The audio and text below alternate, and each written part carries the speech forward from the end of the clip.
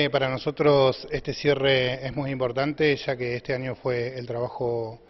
eh, que hicimos en conjunto con la Oficina de Empleo y, el Intendente muy bueno. Terminamos el año con siete cursos aprobados, terminamos con un fortalecimiento para la Oficina de Empleo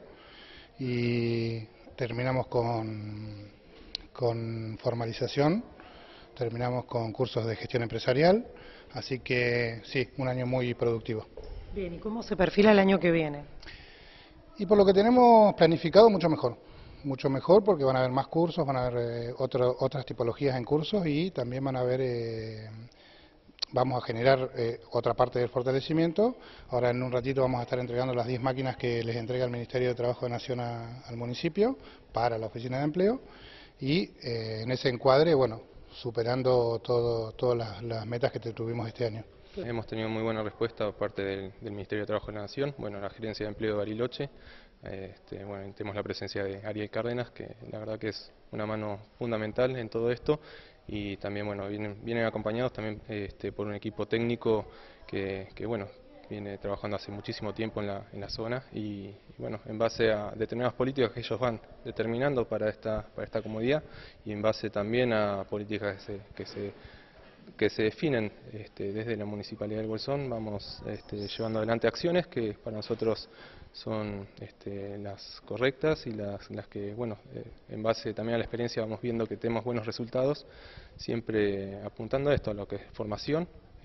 y bueno, poder vincular a las, a las personas a los puestos o oficios de trabajo que, bueno, que hoy se están demandando en la, en la comunidad. Sebastián, ¿y hoy las certificaciones de qué eran? Las certificaciones fueron eh, en base a unos cursos de formación este, del sector de la construcción, fueron este, bueno, emitidas por el Ministerio de Trabajo de la Nación y acompañadas por la Fundación WOCRA.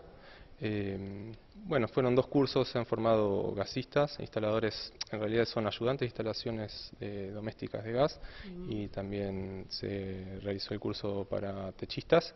Eh, todo esto fue realizado en el Centro Integrador Comunitario, hubo una práctica este, en, cada, en, cada una de estas, este, en cada uno de estos cursos, una práctica este, e incluso bueno, hubo teoría previa también para, para luego poder aplicar. Así que bueno, eh, hoy fue simplemente esto, pero eh, a lo largo de este año hemos emitido otros cursos apuntando a otros sectores productivos también de la localidad este, y nuestra idea es poder para los próximos años tener una propuesta mayor este, ir mejorando este, también las condiciones en cada uno de estos sectores y bueno, certificar también las competencias y, los oficios. Bien, Ariel, ¿y se está pensando en alguna capacitación en particular para el Bolsón para poder este, contribuir y ayudar a los vecinos que están con algunos emprendimientos personales, por ejemplo? Sí, en realidad nosotros los cursos de gestión empresarial es para fortalecer a este tipo de emprendedores. Nosotros el año que viene lo vamos a fortalecer, vamos a traer más cursos al Bolsón. Eh, y después eh, tenemos todo lo que es capacitación a través de sectores. UOCRA es uno de los más importantes. Y estamos eh, avanzando con UDRA, que tuvimos unas reuniones estas semanas, y algún que otro sector para poder fortalecer, sí, el, en realidad jóvenes del Bolsón.